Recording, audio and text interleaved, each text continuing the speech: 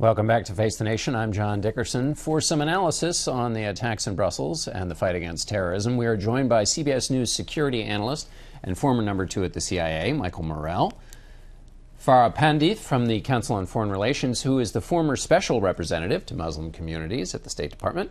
And the Atlantic's Jeffrey Goldberg, who's written extensively on national security. Mike, let me start with you.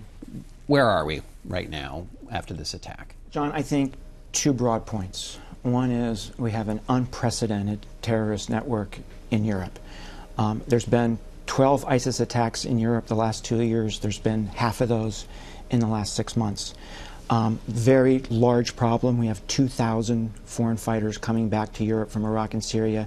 Um, we've got a very sophisticated capability of those guys because they got the training in Iraq and Syria, and we have real capacity and capability problems on the part of European services. Um, this is not only a problem for Europe, it is a clear and present danger for the U.S. homeland because of the ease of travel from Western Europe to the United States. So that's issue number one.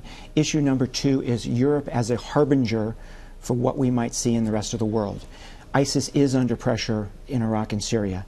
Um, the, the consequence of that, and that's important and that's necessary, and we need to do more of that. The consequence of that of those is some of those 40,000 people who went there to fight are going to start going home. So it gives ISIS the opportunity to create Europe-style networks in the rest of the world. So it's going to get worse before it's going to get better. If I mean, Secretary Kerry says real progress is being made, mm-hmm. but Mike Morell did just well, suggested well, the, clear and present danger and unprecedented. Those are not words suggesting progress. Unfortunately, the real progress in one place leads to real danger in others. The more pressure you put on ISIS in its territory, uh, the more it feels a need. First of all, the people will be leaving uh, will be spreading out. We'll smash them one place that spreads.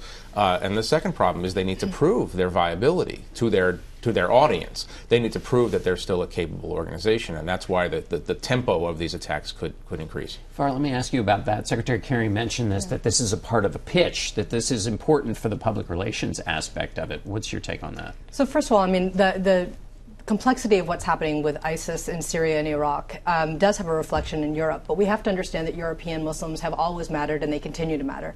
And it's been an important thing for us since actually the Danish cartoon crisis.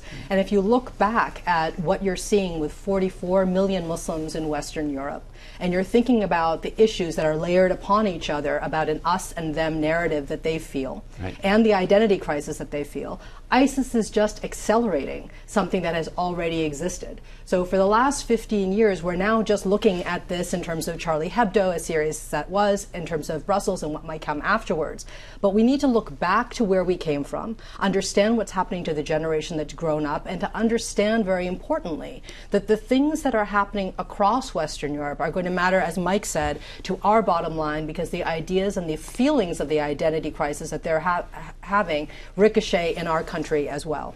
Uh, just one, one quick point on that. Uh, I mean, something that we have to uh, consider is that is that ISIS's goal is to convince Muslims in the West that there is no space for them right. in the West, uh, and so it's not. It, so what they're trying to do is create a, a, situation in which Muslims are forced to choose between Western assimilation and and, and aligning with, with radicalism, and that's why the politics, not only in Europe but here, matter so much. I mean, I was going to say the question is practically what can we do about this problem, right? Um, and it's one thing, right, to be hopeful that the Europeans can get their act together, um, and it's quite another thing to lead them into the right place. So I think we need some sort of U.S. joint, U.S. EU joint CT effort. Think about U.S. Pakistan, after 9 11 where we sat down and worked with them, where we put our information on the table, they put their information on the table. We, we fused that in a way that allowed us to go on the offense against the terrorists and allowed us to be on the defense here at home because we had the, the right information. I want to get back to this point about the neighborhoods. Do you want to add in? Well, I was just going to say, I mean, the kind of coalition that we're talking about is one is an intel coalition, but there's yeah. no there's no coalition for soft power. We have not joined forces. Explain to that. people what soft power means. So, on the ideological component, I was in Brussels two days before the attack. And a very senior official in the Belgian government talked about the fact that their cities are dealing with something um, that, that is the most serious since World War II.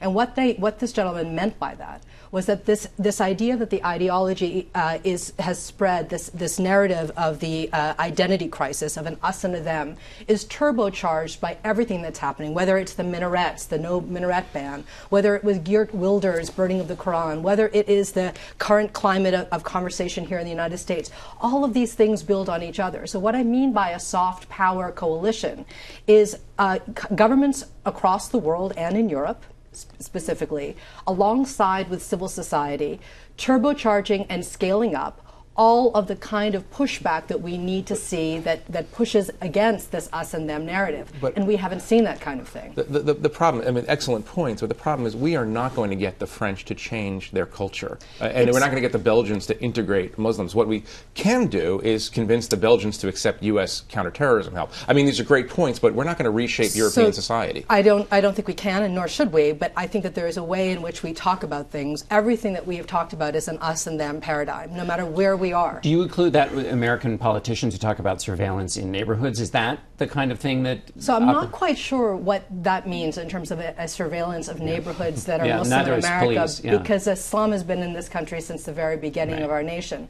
So, it, but but to your larger point, what happens in our country, the conversations that happen absolutely reflect on, on what the general climate is. Our first line of defense is Muslims themselves. They are the ones that actually see things for the first time and the ones that can push back against foreign ideologies that come in. We cannot isolate them. Well, I, so we've got the cultural clash in European cities. And Mike, I want to go back to you on the tactical question. You've got 28 different countries. You talk about the U.S. helping with counterterrorism, but one of the things I hear is that just getting the countries to share is just a, it well, seems like a mess. John, that's why we have to lead, right? That's why we have to go in there and say, this is how you get this done. And it's not only it's not only the heads of our intelligence community that need to do that. It's the President of the United States. It's the Secretary of State. It's the Secretary of Defense who need to make the case that this has to happen, right? Because because not only are you at danger, but we are at danger as well. It is not entirely clear to me that President Obama would uh, be the sort of president who says we are going to lead the European anti-terror charge. I mean, there's a there's a through line in his policies that says that other countries also need to lead, uh, especially on questions that directly have, have bearing on, on their security. But, it might come to the point where he realizes that the Europeans are so debilitated in what they can do that, that there's no choice. But the Americans did lead on engagement with Muslims in the Bush administration. We were listening on the ground across Western Europe. That's the first uh, effort that we actually pushed forward and began to listen to what's happening in places that nobody in Europe was, was going to. We heard what the Muslims themselves were saying, and we need to do more of that. That's what has been missing for the last 15 years do more of that in Europe.